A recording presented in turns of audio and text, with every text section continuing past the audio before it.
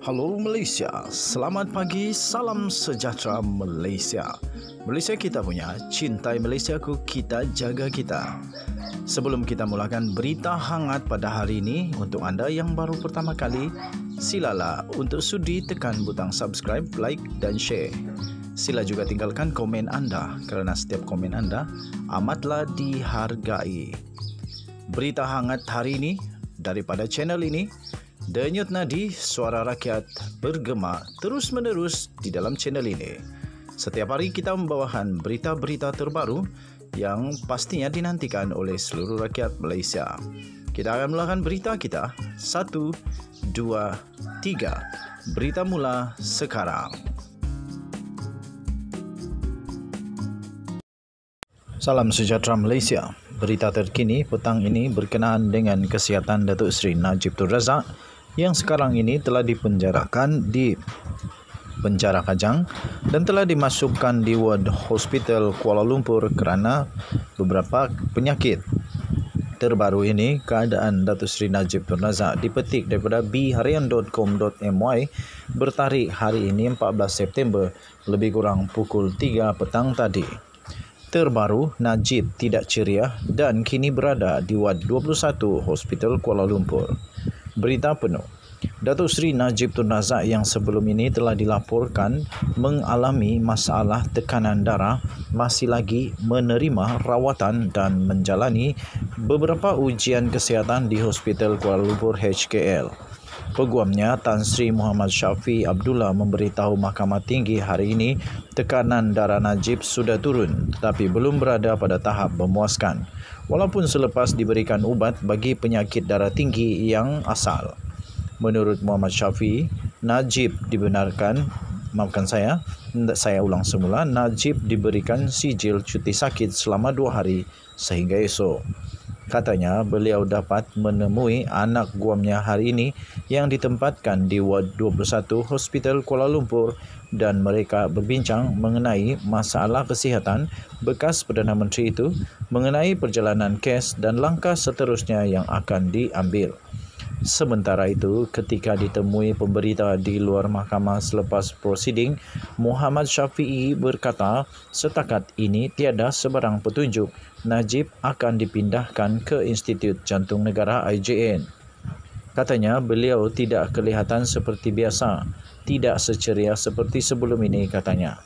Muhammad Syafi'i berkata demikian ketika memberikan status terkini Najib kepada Hakim Datuk Colin Lawrence Sekora yang mendengar perbicaraan penyelewengan dana One Malaysia Development Berhad One MDB yang dihadapi oleh anak buamnya. Sehubungan daripada itu, mahkamah menetapkan perbicaraan bersambung semula pada 25, maafkan saya, pada 26 September ini. Sekian berita, salam sejahtera Malaysia. Berita seterusnya pula yang diterbitkan pada hari kemarin ialah Najib mungkin akan dipindahkan ke IJN. Bicarawan MDB bakal dilapangkan pada hari itu iaitu 13 September 2022. Berita penuh tentang berita ini, Datuk Seri Najib Razak yang dimasukkan ke Wad Hospital Kuala Lumpur sejak semalam selepas mengalami masalah tekanan darah berkemungkinan dirujuk ke Institut Jantung Negara IJN hari ini. Peguamnya Tan Sri Muhammad Syafi Abdullah mengesahkan perkara itu ketika ditemui oleh pemberita selepas prosiding di Mahkamah Tinggi hari ini yang sepatutnya mendengar perbicaraan penyelewengan dana One Malaysia Development Berhad One MDB yang dihadapi oleh Najib. Terdahulu, Muhammad Syafi'i memberitahu Mahkamah Tinggi keadaan tekanan darah tinggi bekas Perdana Menteri itu dilaporkan tidak menentu dan puncanya masih tidak diketahui. Menurut Muhammad Syafi'i, Najib akan menjalani beberapa ujian kesihatan yang akan mengambil masa beberapa hari bagi menentukan punca keadaannya dan mungkin dirujuk ke IJN. Walau bagaimanapun, tidak boleh mendapat arahan lanjut daripada ahli Parlimen Pekan itu kerana peguam tidak dibenarkan melawat beliau di Hospital Kuala Lumpur. Sehubungan itu, beliau memohon supaya perbicaraan kes penyelewengan dana 1MDB yang dihadapi oleh Najib hari ini ditangguhkan. Perkara itu tidak mendapat bantahan daripada pendakwaan yang diwakili oleh Timbalan Pendakwa Raya Muhammad Mustafa P. Kunyalam. Hakim Datuk Kolin Laron Sikora kemudian menangguhkan prosiding kepada petang esok untuk mendapatkan perkembangan lanjut mengenai keadaan Datuk Seri Najib Tun Razak. Pada perbicaraan semalam, Timbalan Pendakwa Raya Datuk Seri Gopal Sri Ram memaklumkan mahkamah bahawa beliau diberitahu oleh Jabatan Penjara keadaan Datuk Seri Najib Razak agak teruk selepas menukar ubat darah tingginya dan perlu dirujuk ke Hospital Kajang. Najib, 69 tahun, berdepan empat tuduhan menggunakan kedudukannya untuk memperoleh suapan sejumlah 2.3 bilion ringgit Malaysia dalam dana 1MDB dan 21 pertuduhan pengubahan wang haram membabitkan jumlah wang yang sama. Ahli Parlimen Pekan itu didakwa melakukan perbuatan terbabit di M Islamic Bank Berhad, Bukit Kelen di sini antara 24 Februari 2011 dan 19 Disember 2014. Manakala bagi semua pertuduhan pengubahan wang haram di antara 22 Mac 2013 dan 30 Ogos 2013 di lokasi yang sama.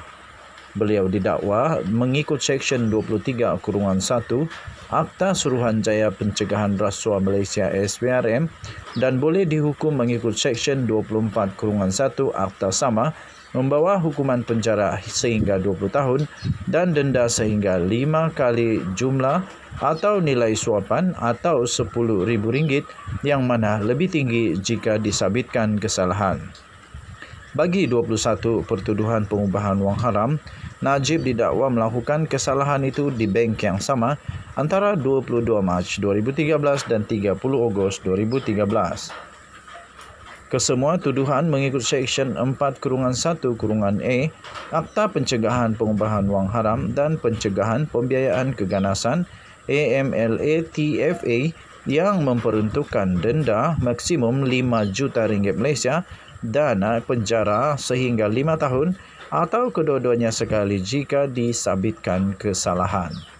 Adakah Datuk Seri Najib Tun Razak akan menerima pula hukuman penjara selama 20 tahun dan jika beliau dikenakan lima kali jumlah atau nilai suapan yang telah diterimanya, beliau perlu membayar sekurang-kurangnya 10 bilion ringgit Malaysia kerana bayaran RM10,000 adalah yang paling rendah.